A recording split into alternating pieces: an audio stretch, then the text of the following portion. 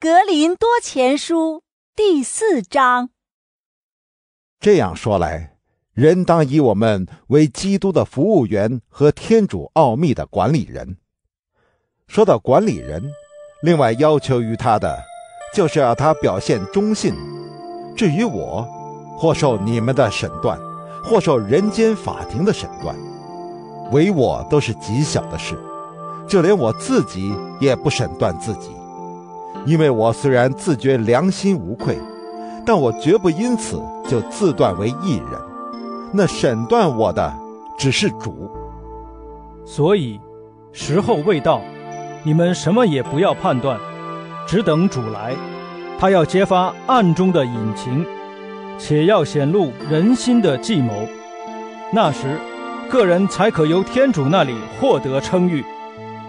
弟兄们，我为了你们的缘故，把这些事贴在我自己和阿波罗身上，好叫你们跟我们学习，不可越过所记载的，免得有人自大，高看这个，鄙视那个。谁使你异于别人呢？你有什么不是领受的呢？既然是领受的，为什么你还夸耀，好像不是领受的呢？你们已经饱满了，已经富足了，已无需我们，自己可为王了，恨不得你们真为了王，好叫我们与你们一同为王。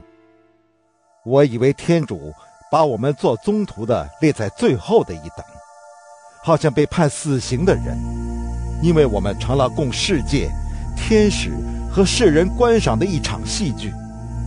我们为了基督成了愚妄的人。你们在基督内却成了聪明的人，我们软弱，你们却强壮；你们受尊敬，我们受羞辱。直到此时此刻，我们仍是忍饥受渴，衣不蔽体，受人拳打，居无定所，并且亲手劳碌操作。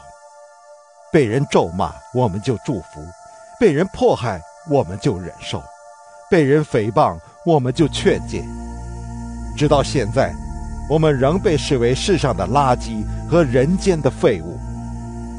我写这些话，并不是为叫你们羞愧，而是为劝告你们，就如同劝告我所亲爱的孩子一样。因为你们纵然在基督内有上万的教师，但为父亲的却不多，因为是我在基督耶稣内借福音生了你们。所以我求你们，你们要效法我。为了这个缘故，我打发地茂德到你们那里去。他在主内是我亲爱和忠信的孩子。他要使你们想起我在基督内怎样行事，和我到处在各教会内所教导的。有些人以为我不会到你们那里去，就傲慢自大。其实，主若愿意。我必很快就要到你们那里去，并且我所要知道的，并不是那些傲慢自大者的言辞，而是他们的能力。因为天主的国，并不在于言辞，而是在于德能。